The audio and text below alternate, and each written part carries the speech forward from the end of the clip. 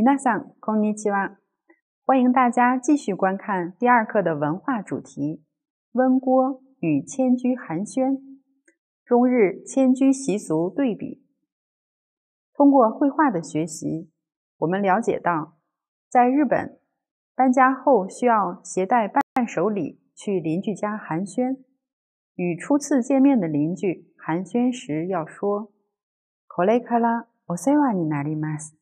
どうぞよろしくお願いします。”送上礼物时说“あのこれです。どうぞ”。在中国的很多地区，有搬家后邀请亲朋好友来温锅的习俗。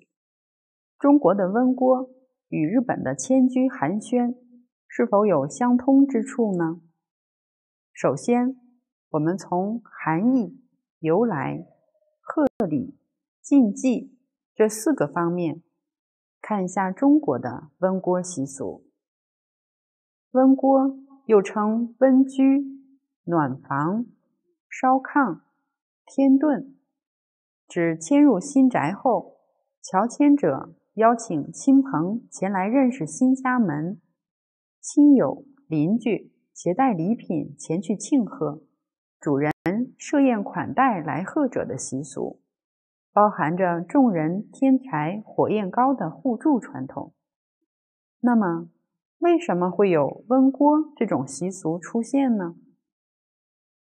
旧时，普通人家多不富裕，盖完新房后，常会出现经济拮据的状况。来温锅的亲朋好友、街坊邻居纷纷送来些食物礼品，添置些家庭用具，以帮助他们度过困境。同时，这种习俗还能增进亲朋感情，促进邻里之间和睦相处。使迁居者尽快适应新的环境。当你收到朋友乔迁新居后温锅的邀请，你会选择什么礼物呢？中国幅员辽阔，不同地区文化差异比较大，因此贺礼的选择也无法一概而论。一般来说，需根据与房主关系的亲疏。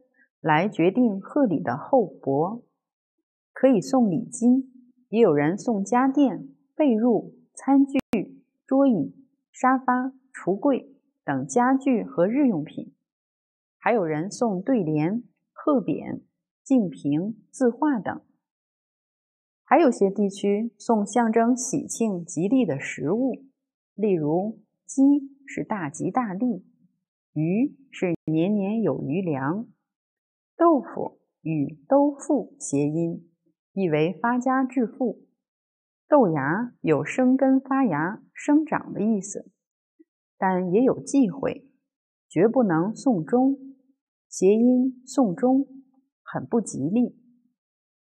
有亲朋好友、街坊邻居的祝福，温锅结束后，新房不再只是一栋建筑，而成了一个内容齐全。充满人间烟火的家，入住期间的老老少少也真正成为这个家的主人，开始新的生活。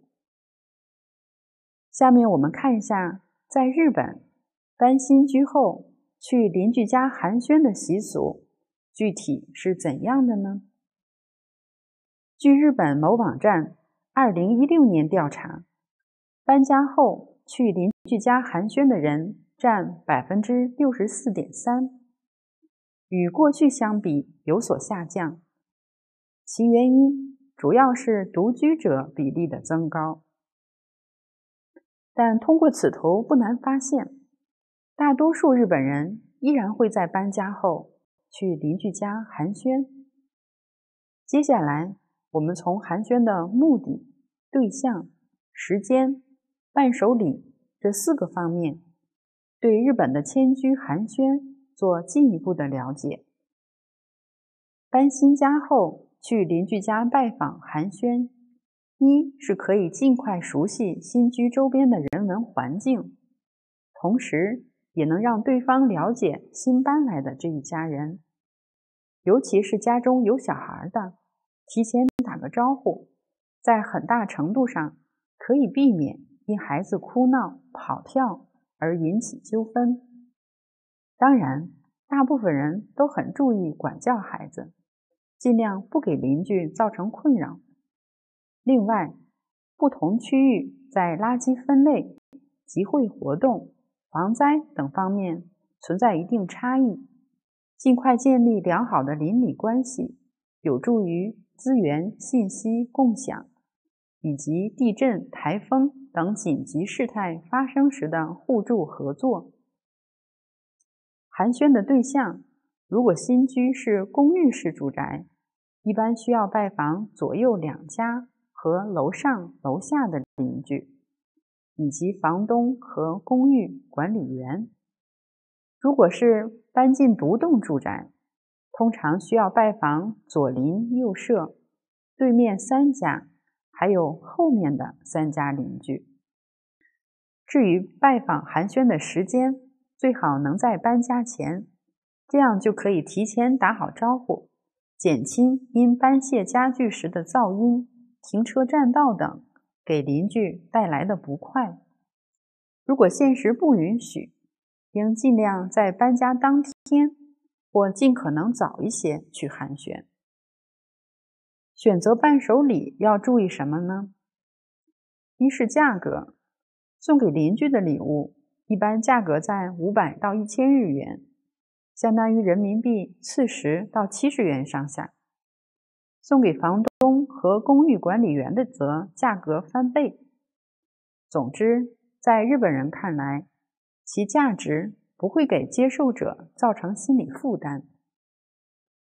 二是选择实用性强的物品，比较受欢迎的有毛巾套装、洗涤用品、咖啡等。